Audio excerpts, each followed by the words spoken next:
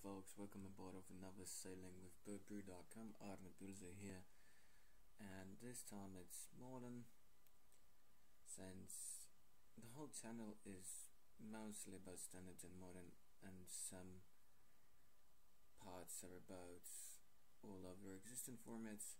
And on the left side of your screen is just uh, your stock burn deck from modern obviously splashing both white and green the usual thing and the right side of your screen is Affinity in my hands and I have very limited experience with this deck though I've played a ton against it and really kept track of everything what was going on. Played Affinity in different eras and we're playing this because we want to have a better feeling of the gauntlets and available options before GP Copenhagen. Uh, so, so my hand was really bloody slow and as explained by my friend who plays Affinity for years uh, Affinity mulligans pretty well so I would rather go down to 6 uh, plus this game was uh, burn being under play and I simply wanted a faster hand to have a chance in this game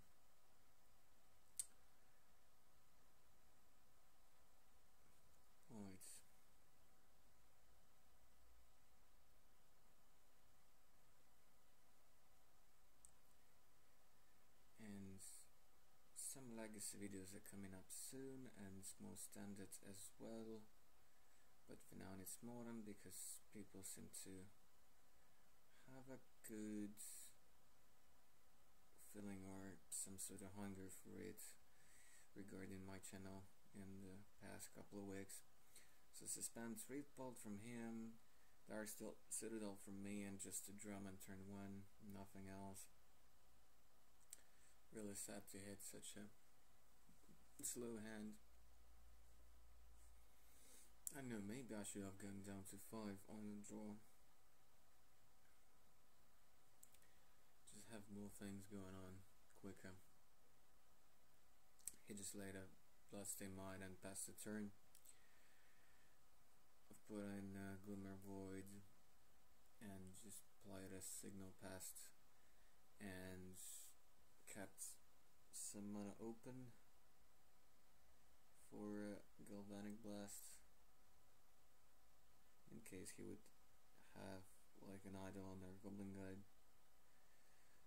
I still somehow was flooded with two more Dark Darksteel Citadels in my hand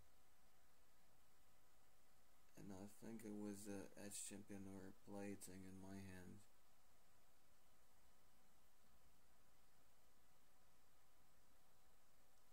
So he Boros charmed me on the turn. Already, I'm already down to 13. He basically balled in himself with a fetch plus a shockland, so he's at 17. But it doesn't look like I was able to race him anyhow. So then he plays an Eidolon, which is annoying really if I have a slow draw. So I take two and blast it away so that I can actually do things and cast stuff. Master of Etherium from me. No point to attack here. There was no way I was casting Master last turn, so I guess I wanted a creature in play so that I have more life draws. So he just suspends a Rift Bolt.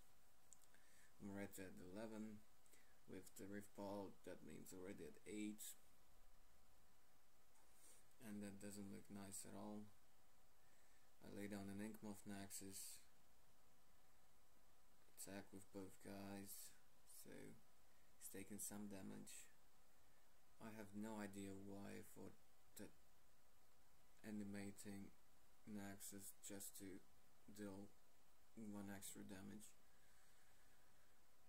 Uh, was a bad idea because Searing Blaze was still alive there. He Boros Charm me on the turn from Rift Bolt down to just 4 and he finishes me off with another Boros Charm. So yeah, pretty nice draw from him. Triple Boros Charm to head and I hit a slow draw and he's on the play.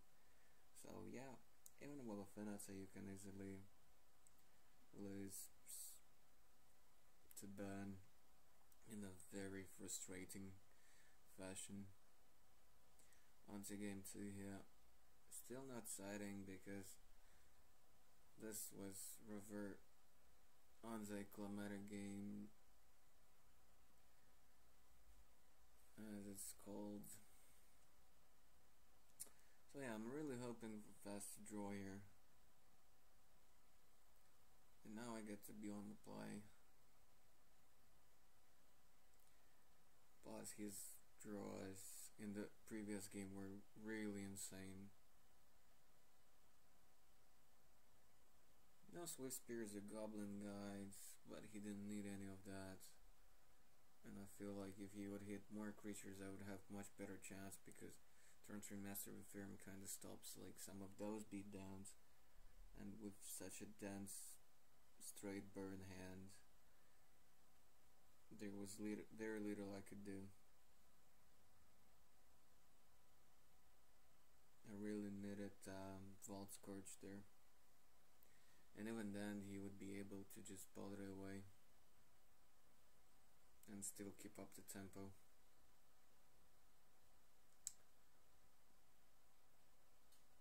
Yeah, this time I hit rather good hand. Start with a Blink Moth, Welding Jar, or in the top turn the Vault Skirge. Paying 3 life to cast it. So down to 18.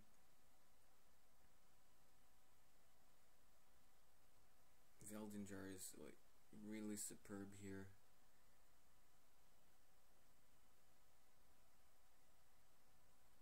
Because if I hit like a second lens, Mox Opal or something like that, and just plating and suit it up to Vault he's in a really rough shape.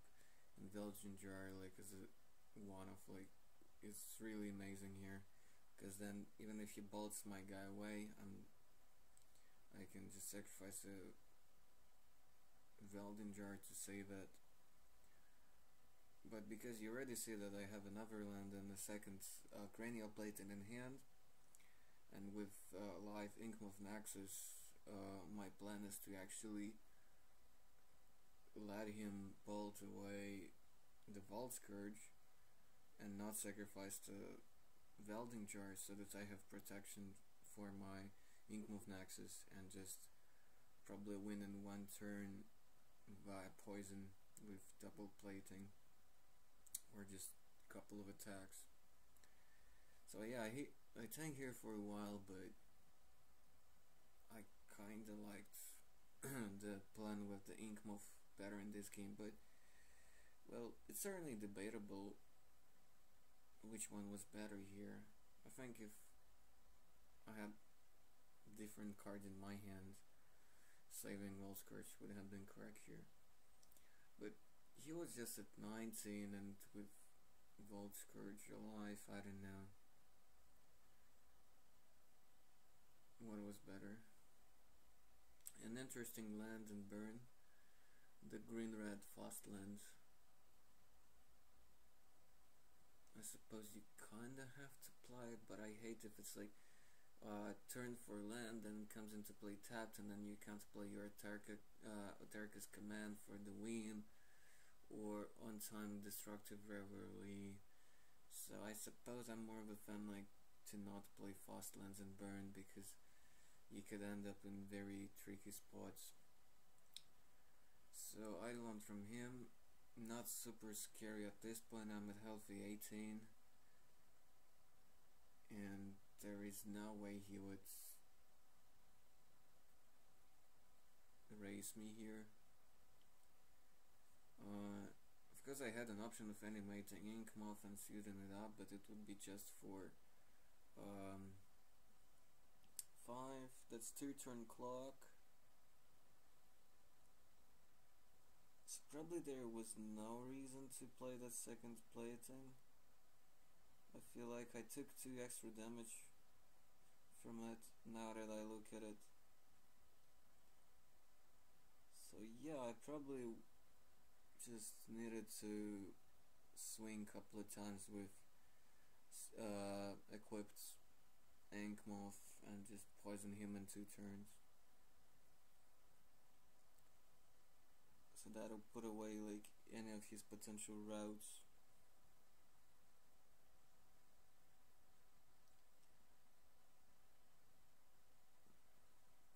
This was a play was still okay, but the problem with this plan is that to suit up both platings I would need to rip a land here or um, Mox Opal or something like that.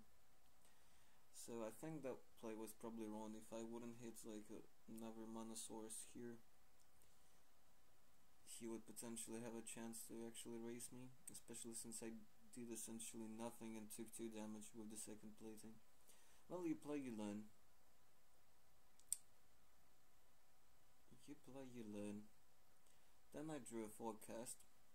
I was debating whether like it made sense at all to uh, cast it here because I needed to draw a lander and opal here.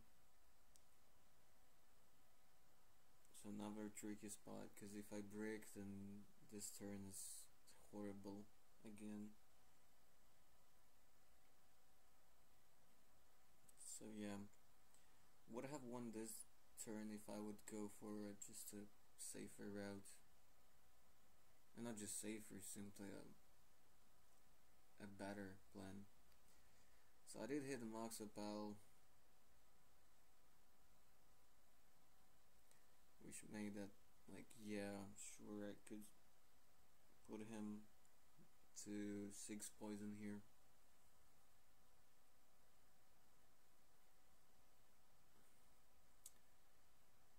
yeah and I took 2 extra damage from Mox Opal realized it later no idea why I didn't see that here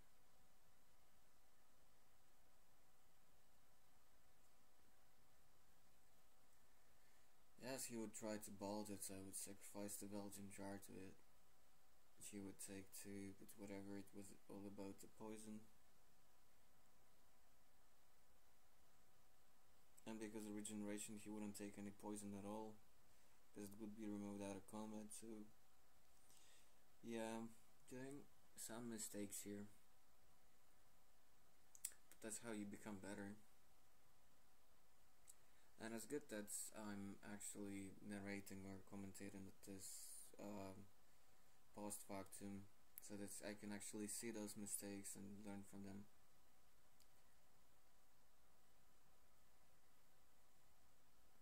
So that's a very nice value for myself as a magic player. So it bothered me, but his whole hand was like two Skullcrack Sportsroom and lava spike and it was all just too head and there was no way he would burn me out this game uh, this turn. And he was for sure uh, poisoned next turn. I did all sorts of mistakes but in, in the end it didn't matter really stupid okay sideboarding so for me I cannot board in a lot took out two signal pests and one uh, Steel Overseer, put in one spell pierce and two spell skites. Pierce is good, but spell skite is kinda odd against burn.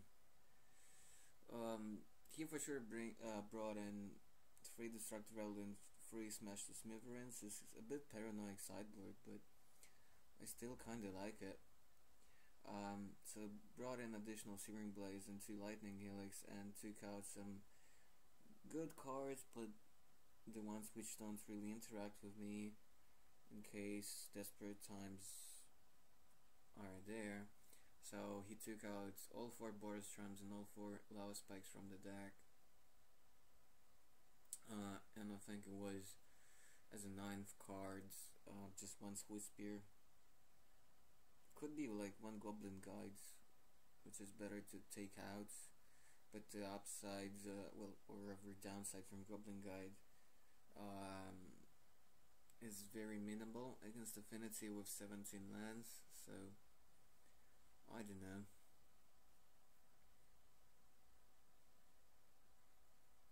Might be takeouts when Swiss uh, one guide is better than Swiftspear. It's very close. But definitely want to bring in all those nine cards. That's for sure. I thought about some other sideboard cards, but these are really just the ones I needed. So on to the post cyber games. I probably want to buy a new playmat or just go to more GPs this season. Of course, there will be some sweet one from Copenhagen from Channel Fireball, but that will be like one and a half month or even more than that. Uh, yeps. Didn't run particularly well with the PPTQ season. Was very close quite a few times, but oh well. But I hit rather good upstreak in terms of consistency top 8 or top 4 or very close to top 8 at different PPTQs and tournaments like that, GP trials and some cash competitive events. But I don't know. I like Affinity as a deck to play. It's quite interesting with a lot of tap and just it's sweet. It's not a dull deck at all to play. Quick start from here, mountain into Goblin Guide, which threw me an Axis. My hand is not super fast, and I was on the draw here, so I don't know. It was rather average, but probably not good enough against Burn. I feel like a lot of people uh, think that Affinity is totally fine uh, against Burn, but I don't know, didn't really feel like that to me. You really need to hit um, fast draws while the average draw from Burn, I think, is much more stable and consistent than the one from Affinity. So Swiftspear before combat damage bolting me, so Swiftspear would deal 2 damage. Goblin Guide drew me another Nexus, which is I suppose good to some extent, but now I'm so flooded and he has such a quick start here. I really didn't know what I should do. Like, obviously play a second land, then I can play over Overseer Ravager, and with a drum up like uh, have mana for Blast to kill like one of his guys. So at worst I can reliably kill a goblin guy or something like that. And I'm already at 11 which is really bizarre because he bothered me uh, attack twice with the goblin guy, that's 7 and 2 damage from Swift Spear and it's all like after turn his turn 2 it's just in, insane. So lightning helix from uh, him targeting my Ravager. I really have to thank prowess trigger on the stack. It has his lightning helix. So though you would see me tanking for a while, but with a bit more practice of this matchup, the correct line is pretty straightforward. Tap the Ravager with the drum, uh, with the prowess trigger on the stack, because uh, I have Metalcraft anyway with Ravager still in play. Um, deal 4 to Swift Spear, even if he would have um, a lightning bolt, let's say, or something like that to boost uh, Swiftspear, the um, it would still die. Of course, he can probably in response like bolt again my Ravage uh, stuff like that and keep his swift spear, but that's not great at all. And there is no reason not to sacrifice um, the Ravager to itself so that he doesn't get to gain 3 more life from the Helix. Because I don't really lose anything from that. I have no target to put the counter, but so what? Um, drew Neverland from the Goblin Gun down to 9. Then a Grim Mancer. Another annoying card. And one of the better cards Affinity has against. Uh, oh, Burn has against Affinity. Tarkus Command is also bonkers in this matchup. Because I have Dromits and Citadel, it's safe to play a Glimmer Void. I'm in such a clunky position that just playing another Nexus probably doesn't do anything. I'm not sure you could let me know in the comments. So I opted for Master of Etherium with drum up. Master is a free free creature here. Plus I would have an option of um, just using the drum to animate Nexus to make the ma master as a 4-4. Use Suspense Rift Bolt. then wait for it. I think you are probably seeing like what kind of shenanigans are coming up here. A block goblin guide. There's a I think another land on top. Oh no wait, what what what the hell did I just do? Did I just throw Ravager from Goblin Guide? That's sick. Okay, sorry for that. That was my last match of the day, so I guess my brain's just switched off. Um, right, then he tried to finish off my master by using the Grim Mancer here. So I of course animated the Nexus and that would mean one, two, three, four. Hold on. How did we count that it would make master as a 5 5. Ah, because it, it, it does count itself, yeah, sure. Still weird. Still weird. I guess he thought I had two citadels.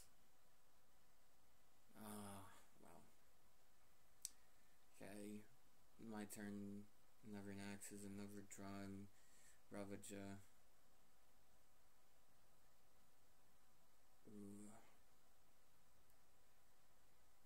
Yeah, I suppose after having pretty bad draws and really not fun games in this matchup, I started to make a bunch of mistakes. Okay, I tapped Ravage and the drum for to cast uh, Vault Skirge and tapped one more land so that I wouldn't have to pay two life for it. Um, there's Rift Bolt coming up and Grim Lavamancer active. I don't know, maybe I should have attacked here. It's kinda clunky. This I have Ravager up to put counters on the Vault Skirges in case he would go for killing it. Rift Bolt to head, I'm at 6. Sure he can put me to, down to 4 with the Lavamancer. But then again he took out the Boros Charms. It's kind of tricky. It would take up like two bolts to finish me off here.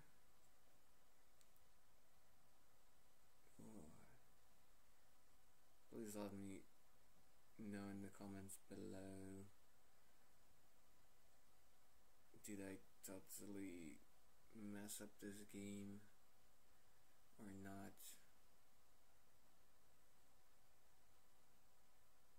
feels like I was miscalculating and misplaying everything I could. So he suspends another with the bolt, but that's like not really enough. I don't know what his plan is. Because Vault Skirge is already 2-2 thanks to Master of Etherium. And I sent back a cranial plating, plating. So another Nexus, Mox Opal, buttload of mana for anything, and a lot of colorful mana. To even equip at the instant speed. So tap Citadel and the Sick Nexus to lay down the plating. Then I think my best line was just attack with uh, Infect, uh, so Inkmoth Nexus and uh, Vault Skirge.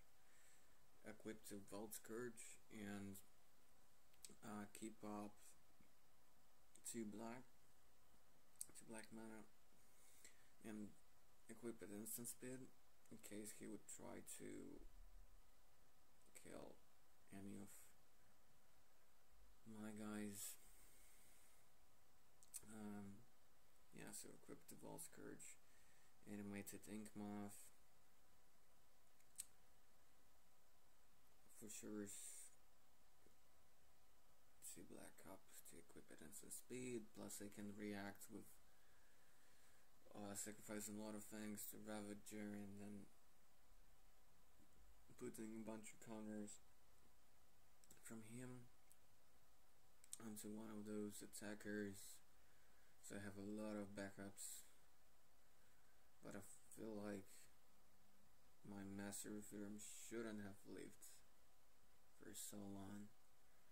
But the way this game shapes up I don't think it would have mattered a whole lot even if he would kill it I think it would be probably fine for me I think I was still winning that game uh, even though I feel like I miscalculated and Master should have died. Yeah. With down you have to calculate, I mean count up to 20, sometimes 15 if you get lucky with a matchup. And with Affinity you also need to count quite a bit, but it's all from di very different angles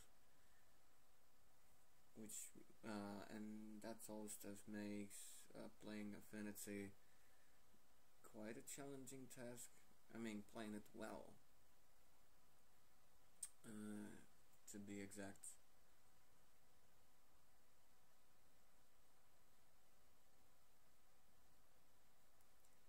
Obviously, playing Affinity requires a lot of practice. But even established affinity players would have value here by just laughing their ass off watching my mistakes and people who are not insanely familiar with affinity or burn would be able to learn from our misplays even though we try to be calm and play in a very thoughtful manner.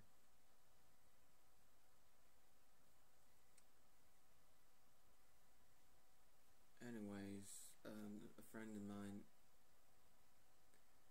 on the left, even though he likes Affinity a lot, and on average he has fine results at the tournament plays with it, but he also has uh, pretty much modern Merfolks, and I kinda like that deck more in general. For certain tournaments, for um, small meta games, Affinity is probably way better. Well, technically there is an argument for uh, consistency and reliability of each of those three decks in modern. So on top, uh, on top of my deck, shown from the Goblin Guide on turn 1, he's down to 17, I'm down to 18. Glimmer went into Ornithopter and Memnite. Then I can keep mana up for a Gallblast here or do something else. try to be more proactive and that's what I decided. And cast a signal pest as of now this didn't look insane, super insane here. Second one from him. So this way next turn I could at least attack and stuff like that. And I could always like just kill the goblin guy next turn showing Glimmervoid, so that goes to hand. Yeah, of course he sacrifices that fetch land here. Going to 16. Grim Lavamancer is pretty nasty, so I feel more or less happy that I didn't spend the Gale Blast on the Goblin Guide, because Grim Lavamancer is much better target for it here.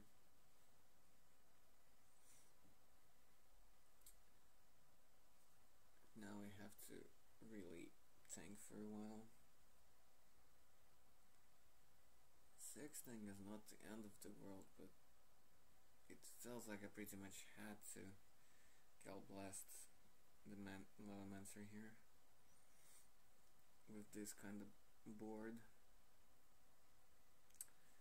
So that's attack for just 3 damage, which is still fine.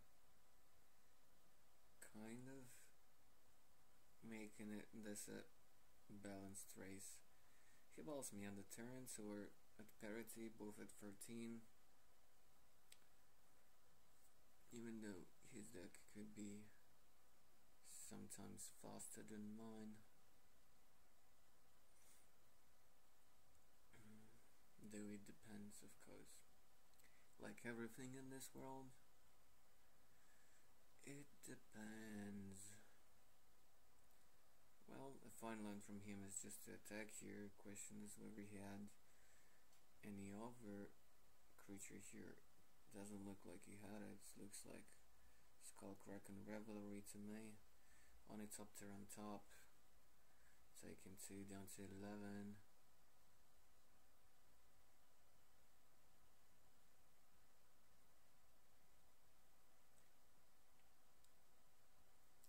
Decided to cast an Eidolon here so that I can't profitably attack though I think I don't mind that. He gets to eat my only uh, my Memnite but that's probably something he wouldn't want to do. I don't know. Eidolon was just playing more proactive here and of course I would probably take damage from casting a bunch of things here. It's pretty odd. But um, I suppose it was still good for me that he didn't cast uh, uh, Revelry here. I mean, kept mana open to cast it. So that opened me the window of casting a Ravager.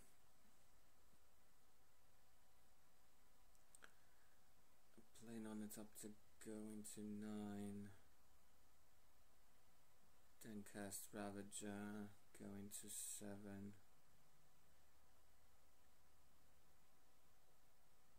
which is pretty dangerous. At least he uh, boarded out Boros Charms. So 7 is way better than 6 of course. And I got blockers which could be pretty bad because of Ravager. I would have at least Ravager and uh, Ornithopter to block next turn. I'm not sure why I decided not to attack here. Probably fearing like a Searing Blaze or just a random Balter Helix onto one of my creatures and so on. Well, there are a lot of things to fear here including Smash Smash the Smithereens. I don't know, but he was a 12, and by not attacking, I kind of just um, took away any chance away from me winning this game. So attacks with bows, trigger from the goblin guy, there's a Memnite, which does nothing here. I have to really hope for the best here. But it's super hard of course.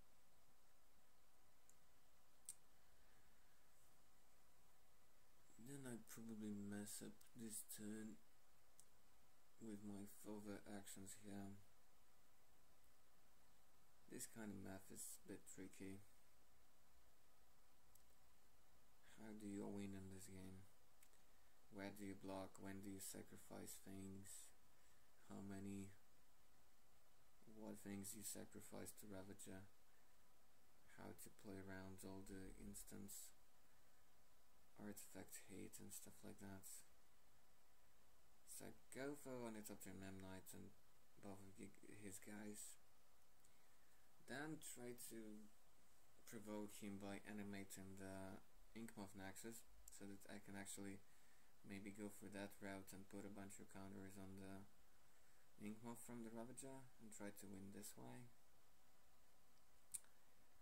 So blocked, then I before damage started by sacrificing Memnite uh, to Ravager. Then went on for sacrificing Ornithopter. He, now he responds with Destructive Revelry on the Ravager and I'm not sure whether that was correct.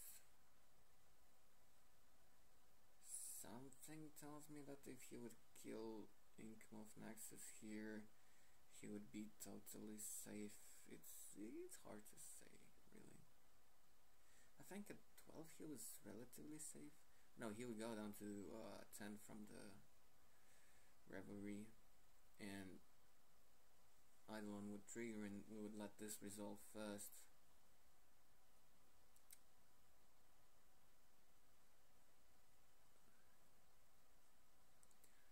so the Ravager anyways wouldn't grow bigger from that Ornithopter, so in response I sacrifice another one. So free counter is on the Ravager. Um, and then that's sacrifice Ornithopter is still on the stack. So I have to think, do I continue here? so the option is to uh, sacrifice Signal Pest here it's a bit dangerous with a couple of Glimmervoids in hand because I will be sacrificing Ravager not to take extra 2 damage from the Revelry so I get the Signal Pest then before Revelry resolves a sacrifice to put 4 counters onto the Nexus.